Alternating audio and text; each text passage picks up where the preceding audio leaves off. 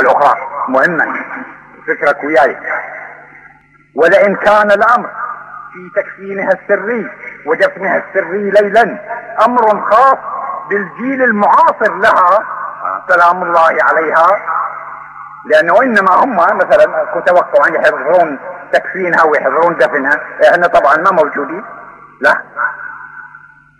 فخفاء قبرها ليس امرا خاصا بذلك الجيل.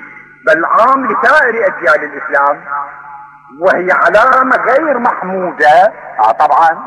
وأعتبرها سوء توفيق سوء توفيق لكل الاجيال الإسلامية ابتداء من الجيل المعاصر لوفاتها وإلى الآن وإلى حين يتضح الأمر بظهور الحق الأصيل. آه سلام الله عليه. فليس فينا أي شخص يستحق أن ينال هذه النعمة الخاصة والرحمة الحقيقية. مهما كان ادعاء هذا الشخص مهما كان ادعاء هذا الشخص عاليا في دين أو دنيا